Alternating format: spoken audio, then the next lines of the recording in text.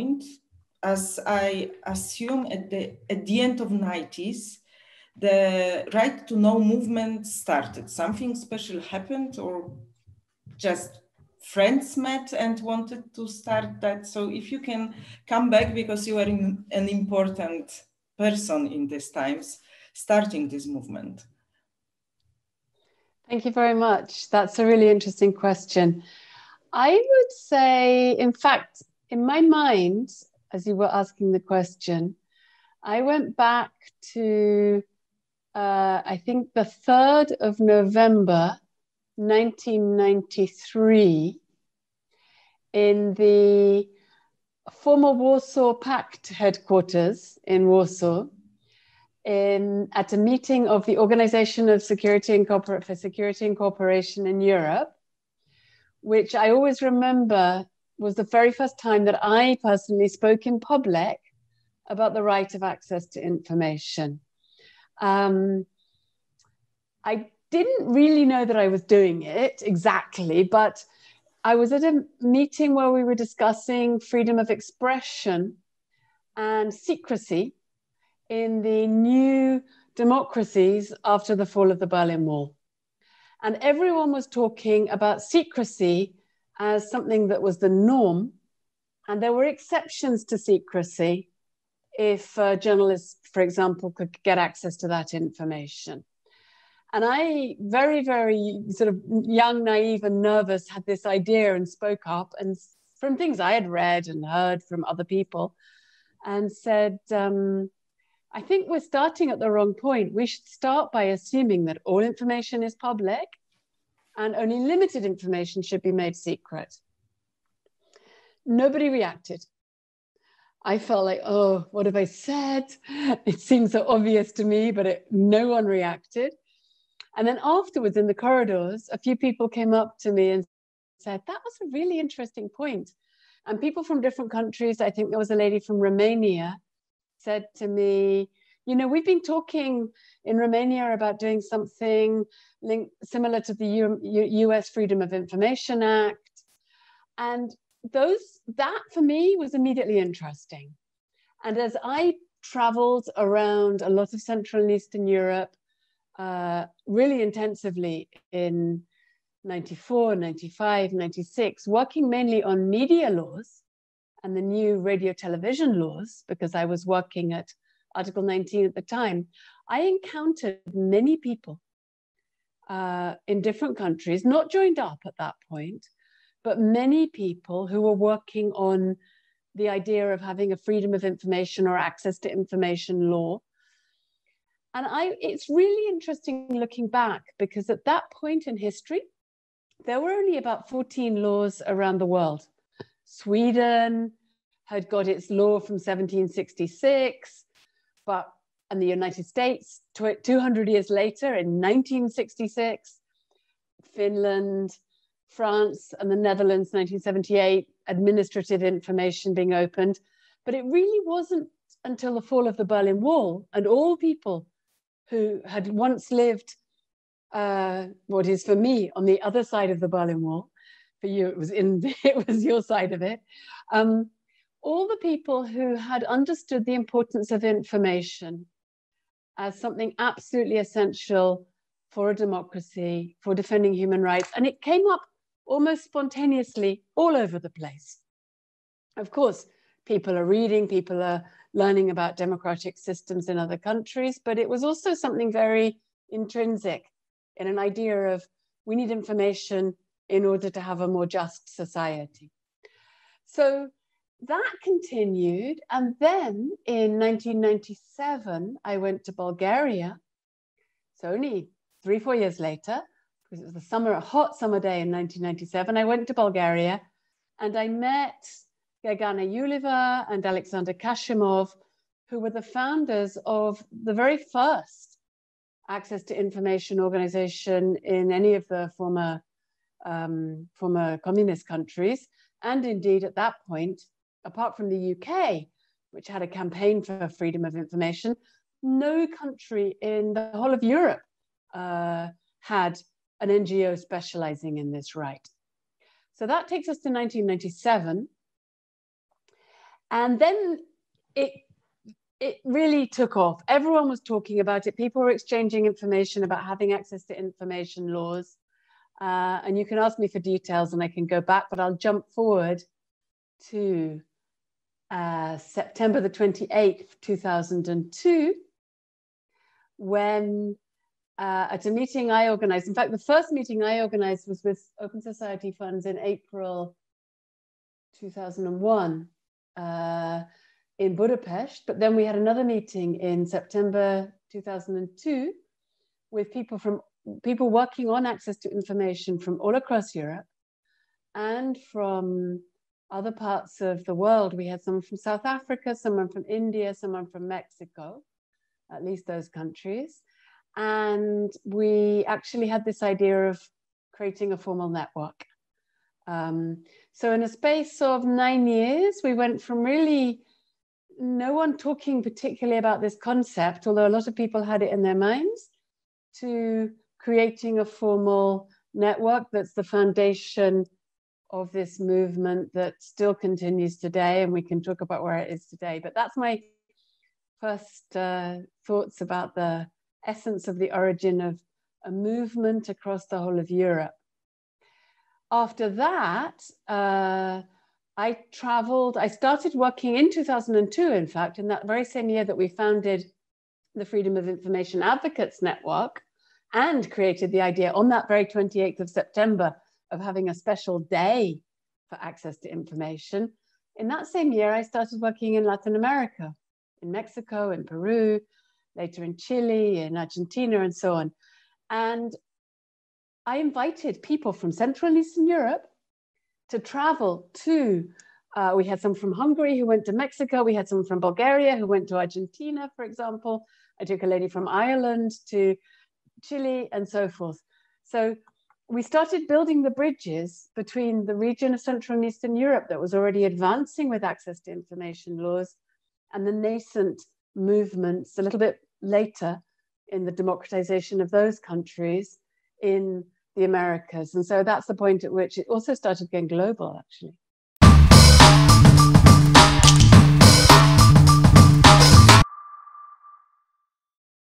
I, and how was it with the standards? Because th this is something that surprised me when I realized that many standards that we have in our access to information law have some logics that was known before. It's not that our lawmakers developed that, but it's something that exists like that, how long it should be. Of course, periods are different, but the fact that it should be informal, that um, that there is this as far as I remember, at some point we, we found some list with the, like 10 points that good access to information law should meet. So you were working together on the basis on um, observation or discussion or what?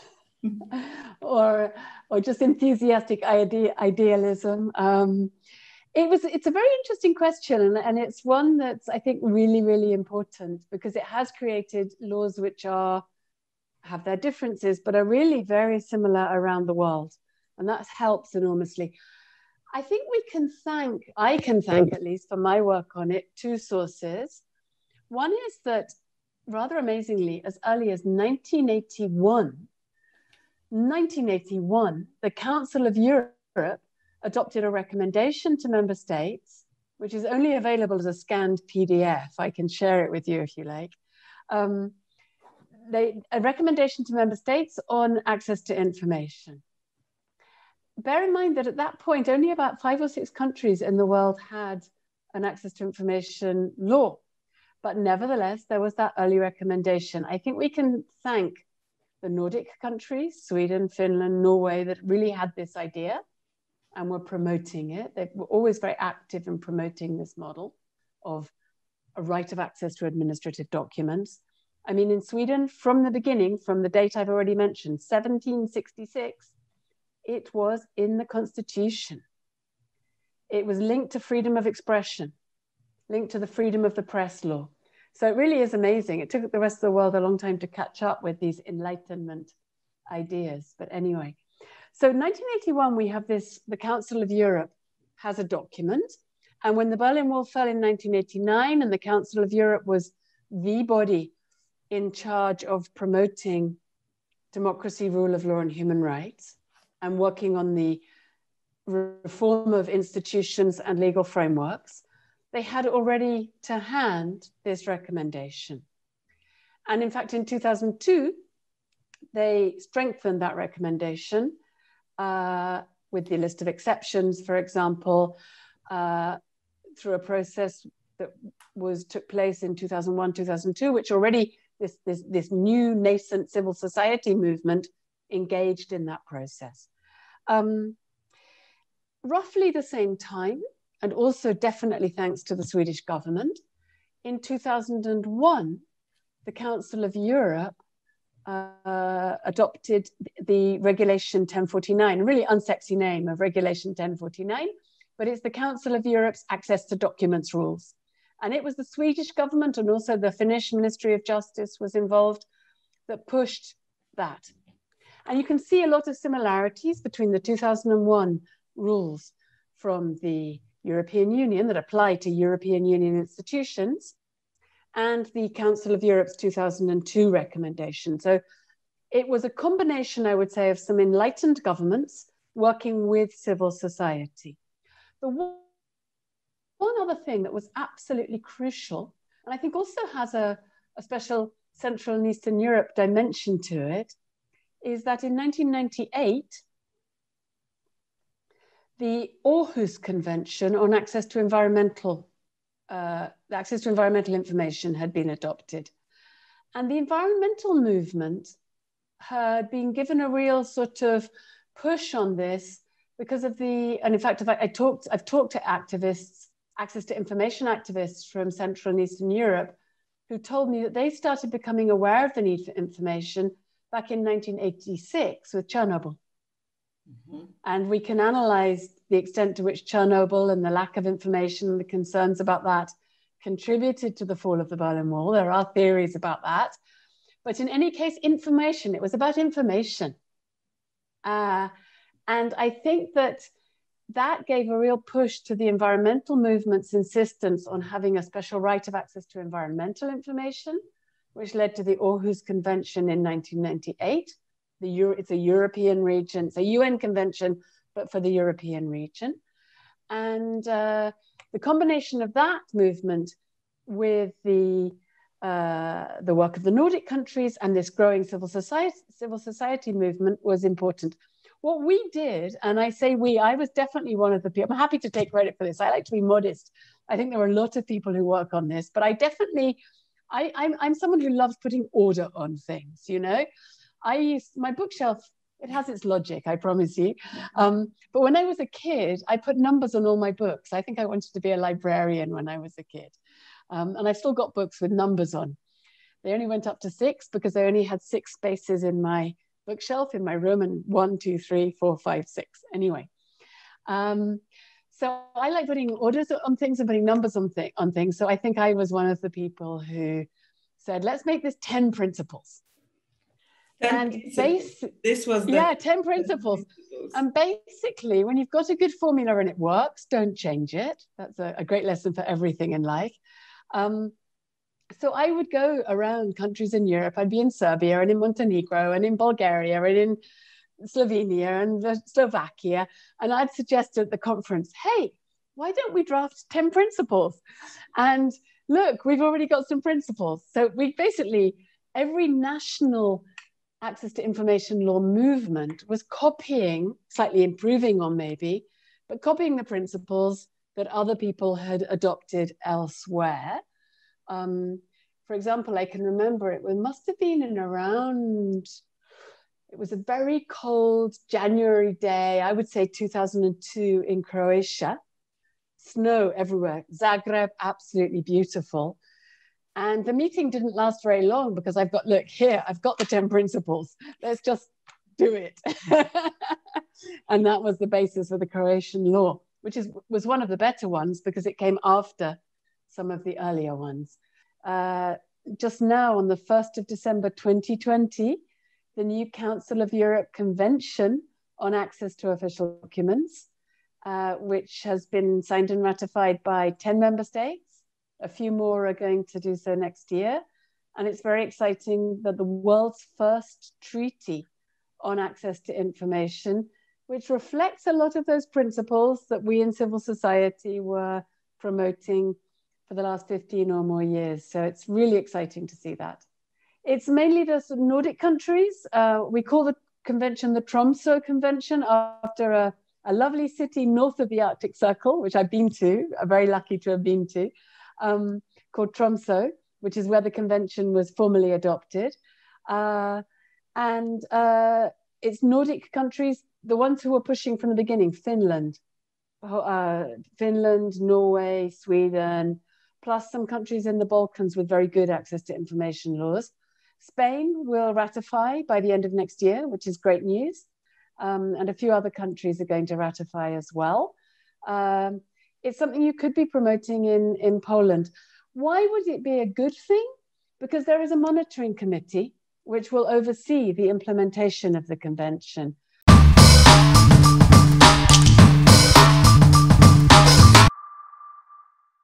open government partnership that Poland, unfortunately, is not a mm. member of. We tried several times, several years ago, in 2013, I think 14, and then just gave up. Uh, and I have the a feeling that now the discussion is there, but I don't know to what extent. Uh, but obviously, meetings and some platform for collaboration is important yes i mean i think i think you're right there was a very intense period the golden age of getting access to information laws adopted and that was great fun and then we realized that there's that's only the first step and it's hugely hard work to get them well implemented. And now each of us in our country is focused on on doing that. You know we've got the standards we've got the laws and now we have to heads down sleeves rolled up and we have to work. Um, and we have to encourage citizens to request information because it's very frustrating for citizens who have heard about this fantastic right and the law and then ask for information and don't get it or don't get an answer or get a rejection. And you know the reality of making this work in practice is a different thing it's it's harder work it's less fun perhaps but anyway i think something else happened i was talking about emails we then started having government websites and we had the open data movement. Governments were able to publish information proactively on their websites. The combination of the access to information laws and the open data movement came together to create the Open Government Partnership. And we increasingly realize how important transparency is in the fight against corruption, in controlling uh, corrupt or not particularly democratic politicians, because for the golden age of the 90s, really from the 2000s onwards, we start seeing problems in transitional democracies, but we're aware of problems all around the world. Um, and so we needed to keep insisting on this. Um, and it's true that we're not only asking for access to information laws generally, we're asking for a lot of things. We want our company registers to be open. So we know who really the owners of the companies are. And we want public procurement. We want to see who's getting the contracts from government. So there are lots of different things to work on. Um, the Open Government Partnership started in 2011. It will be 10 years old next year. Uh, in fact, I spent most of today on a steering committee call of the Open Government Partnership. Next year is going to be a very important year. Um, it is a, a, forum where the debate on openness has been taking place, that's for sure. And for the countries, the 78 countries, and now around 50 local governments, regional or municipal governments that are members, it's a great place to be. And it really makes a difference. I'm speaking to you this evening from Madrid in Spain. And I arrived in Spain 15 years ago, almost exactly. And nobody even knew what a transparency law was. Now we have the entire country, the central government all the regional governments doing open government action plans. Really, it's been a, a huge transformation. Um, and being inside the Open Government Partnership has helped that. So it's a huge shame that Poland is not a member. There are 22 countries in the EU, I think, that are members in the European, wider European region. I think it's 32 of the 47 Council of Europe members. So you're You're in a small number that are not members. Um, obviously, it's a question of political will from your government. Keep insisting on being inside the Open Government Partnership. Uh, I think I think it is something that is does help focus attention because governments have to do an action plan and they have to make commitments and they have to do that in collaboration with civil society. So it's true, it is where the action is a little bit, Kasia. It, it's uh, it's something that we should maybe try harder to collaborate to get Poland to join. Hungary joined, and then, and left. then when and then left. Forced. they were they were going to be suspended, and they left of their own accord. They were going to be suspended because they hadn't done the action plan in consultation with civil society. They were passing laws which were putting pressure on civic space, on academic freedom, on freedom of information. So they were under scrutiny. The really unique thing and the very good thing about the Open Government Partnership is that it does actually uh, analyze whether member states are complying with the basic ground rules and it's ready to. Azerbaijan was also suspended, is suspended, and Turkey and Russia came under pressure and left.